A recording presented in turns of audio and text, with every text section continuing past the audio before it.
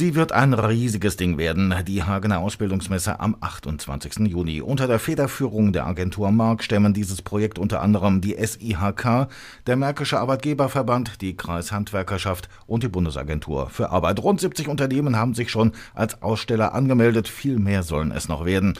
An diesem Donnerstag wurde das Konzept vorgestellt. Auf die Vielfalt, gerade auch in der Berufswegentscheidung, setzt zum Beispiel die SIHK. Thomas Hensel dazu.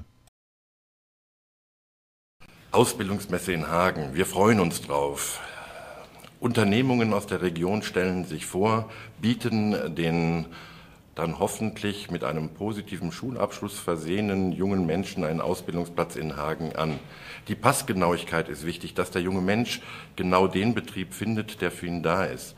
Viele setzen auf Bildung. Das geschieht Karriere mit Lehre auch durch die duale Ausbildung. Entscheidend ist natürlich auch für all diejenigen, die auf Schule setzen.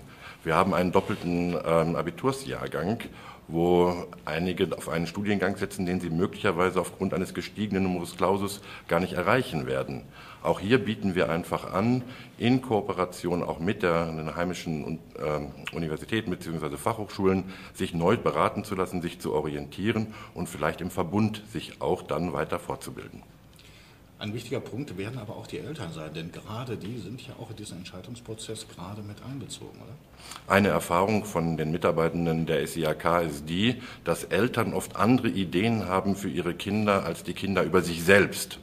Durch eine solche Ausbildungsmesse, durch den Weg dorthin, durch Elternabende, durch Gespräche im Klassenverbund wird ein Diskussionsprozess möglich sein, wo man sich an einem Tisch setzt und nochmal genau überlegt, wie kann ich denn nach dem schulischen Kontext für mich einen beruflichen Weg beschreiben, der über viele Stationen gehen kann. Es ist nicht immer nur eine Entscheidung, die man zu treffen hat, sondern mehrere.